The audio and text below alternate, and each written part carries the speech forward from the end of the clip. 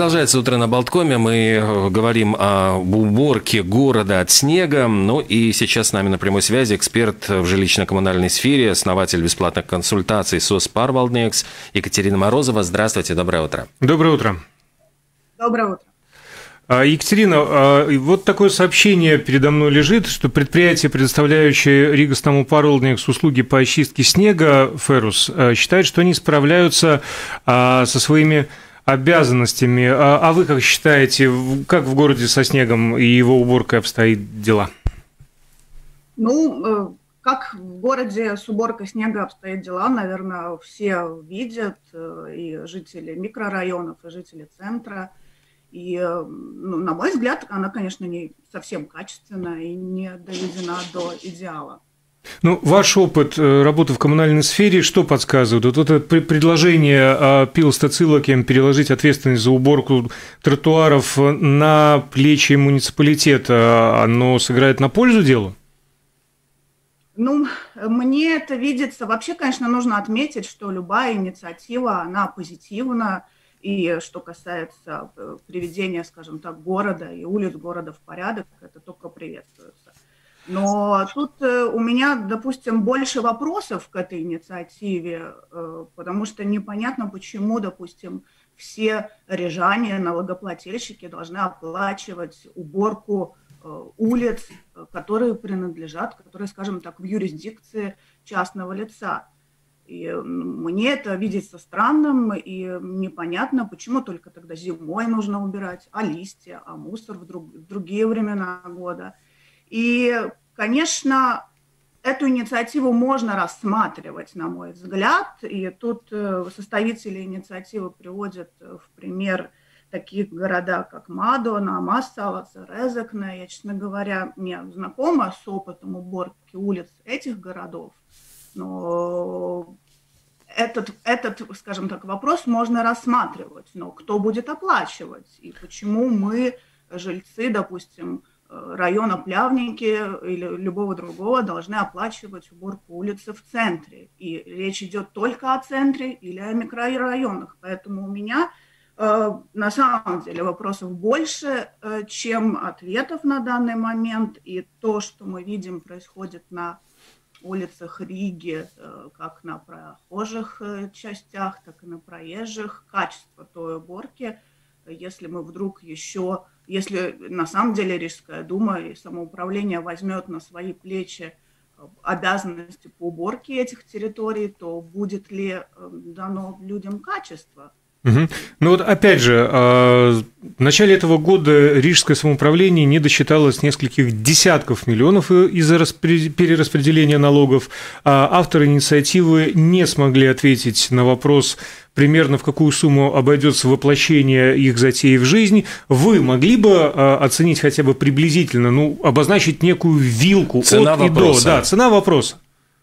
На вопрос, а, послушайте, тяжелый вопрос, потому что Рига, скажем так, город не маленький, опять-таки, исходя из этой инициативы, я не понимаю, о, о всей Риге идет речь, либо только о центре. И о всей? Только о всей Риге. Ну, послушайте, ну это очень большая сумма денег, потому что мы все знаем, что территория у нас поделена, вся Рига, нет ни одного кусочка – который бы не принадлежал либо самоуправлению, либо частному лицу. А, тут уже опускаю вопрос, кто обслуживает эту территорию. Поэтому мне, честно говоря, так э, достаточно сложно сказать, о какой сумме могла бы речь, но я думаю, что ну, там миллионы.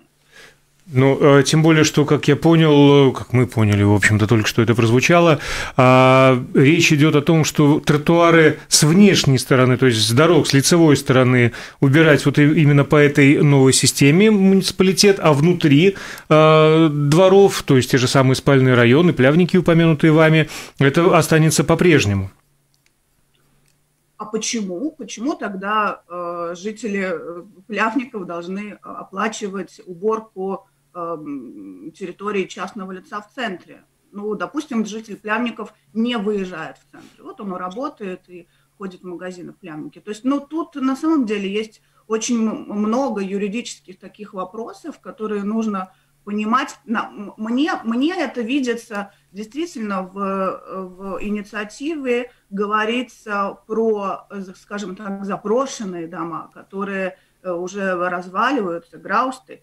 Э, может быть, да, действительно, самоуправление могло бы э, обеспечить чистку прилегающей территории около этих домов, но потом обязательно предоставить этот чек по уборке Э, все-таки владельцу этого дома, потому что, ну, действительно, э, послушайте, мы, э, самоуправление не может отремонтировать и заасфальтировать новую дорогу, а и, скажем так, егулдит средства в ремонт этих дорог, а почистить снег и потратить деньги налогоплательщиков может. Поэтому тут, ну, так. Да, Екатерина, скажите, а нет ли такого вот ощущения, что, может быть, мы изобретаем велосипед, и вот как решается проблема в других странах, в других крупных городах? Ведь наверняка там, ну, тоже есть подобные проблемы, и, может быть, их опыт стоит использовать?